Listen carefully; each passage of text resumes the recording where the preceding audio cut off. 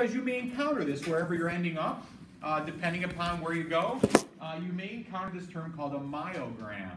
And a myogram is a graph of tension in the muscle versus time. And you can do various things. If you were in a university scenario and you were in, let's say, a three or 4,000 level physiology class, you very well might likely be doing some myograms where you uh, are measuring the tension in a muscle as a result of doing certain things. So I just wanted to point that out. And remember what we get. We get a brief latent period as ions move and action potential moves down the sarcolemma. And then when calcium hits the myofibrils in the right concentration, then we begin to see the fibers contract and generate force. Okay? So all the electrical events and ion movements of action potential, um, excitation, contraction, coupling is occurring right here, and then the contraction begins. Okay? Contraction under a single twitch or a single stimulus is going to lead to a certain level of force generated by that set of fibers or a single fiber.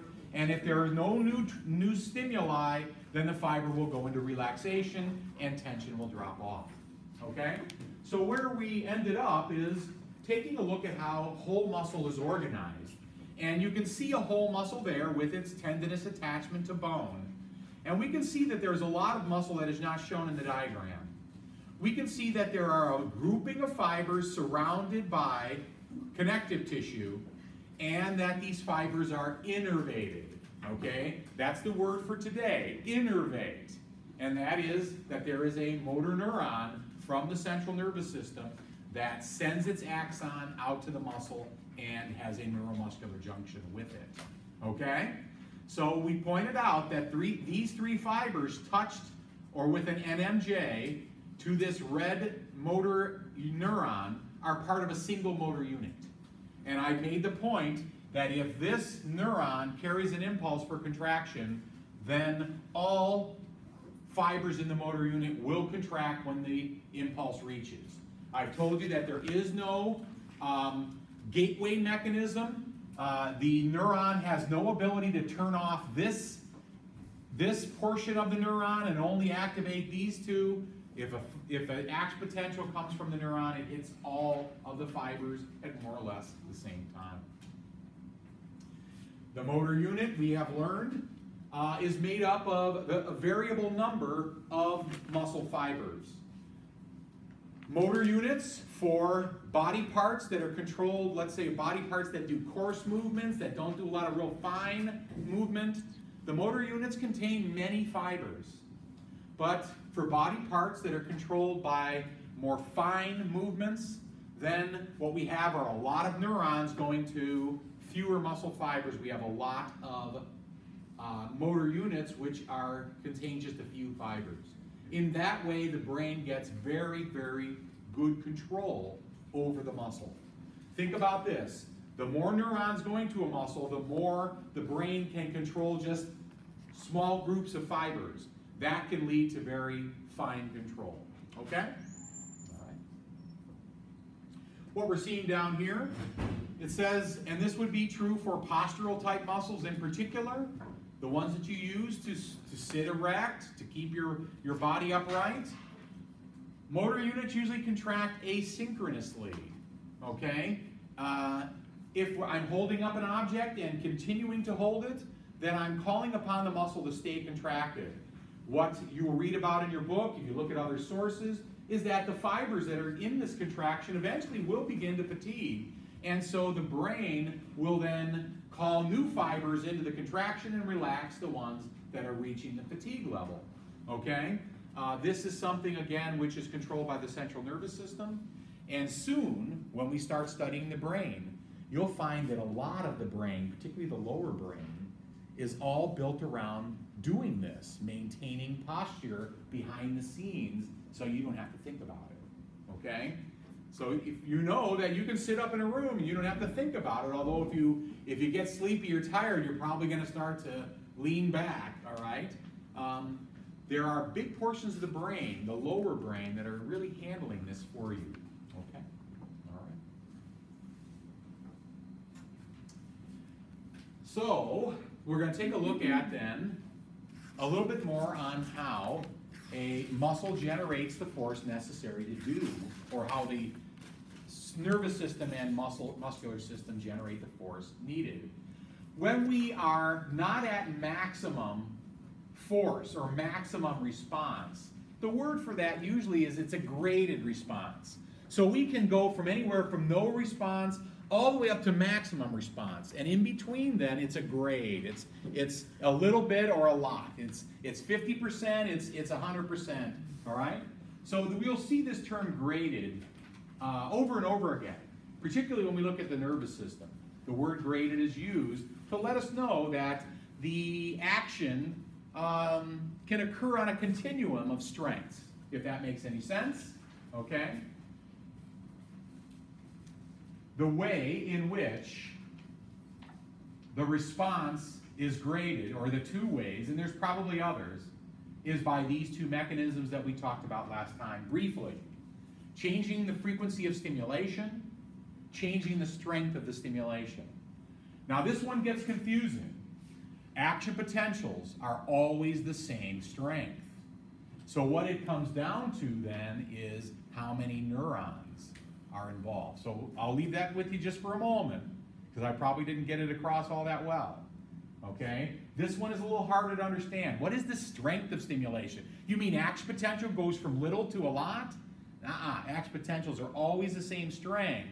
But if I've got a thousand motor neurons going to a muscle, I can either involve a few of those motor neurons or all of them. And that's where this lies. How many motor neurons are stimulated and how many are, let's say, controlling the muscle. The more, the higher the force or the greater the force. Yeah? So when you see something, do you just, do your brain just say, okay, well, that's a pencil, or that's, is that how it goes?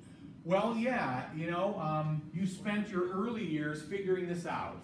As I left you last time, as I watch my granddaughter, I see her testing the environment around her, and she is putting into place, at least this is my theory, and it's probably supported by psychologists. She's putting into place memories about how about objects and how they feel, how much they weigh. Um, that is, you know, wood has a different density than concrete. All these sorts of things. Not that she plays with wood or concrete, but soon she will. Um, okay, so yeah, you have to put these into. I mean, her brain is coming online. It's online for the basic stuff: eating, crapping, urinating, that kind of stuff. Okay. But, but to now manipulate her environment, her brain is still coming online and it's learning about her environment. Okay? All right? Okay, so let's take a look. This is something you've seen before. This is, as you see across the top, it's, uh, it's a myogram, okay? And it says single stimulus, single twitch. We talked about how twitching is, is not something that is commonly used, um, where it's just a single stimulus to control a body part. We're talking really more graded responses here. And just refreshing your memory, okay? You have your stimulus, you have a brief, a brief latent period and then a contraction phase followed by relaxation phase, all right? And it says maximal tension of a single twitch. So this means if there is one impulse sent to a motor unit, this is all the force the motor unit can generate with one impulse. But the brain has the ability to do more than that. It has the ability to send multiple impulses, okay? And that will change this graph quite a bit. This is how it might change. Take a look at the red arrows. They are showing us stimulation from a motor neuron to a motor unit. To put that into English, a signal from the central nervous system to a grouping of muscle fibers. The signal is an action potential, okay? So here we see that we see a twitch, basically, and you can see this distance in time is between zero, I mean, it's probably around 80 to 90 milliseconds in time, okay? So count that one second and then divide it by a thousand and then take a hundred of those and you get some idea of how long this is. So there's a twitch. And the, the motor unit is beginning to relax, or the fiber, whatever it is, it's beginning to relax and tension is dropping.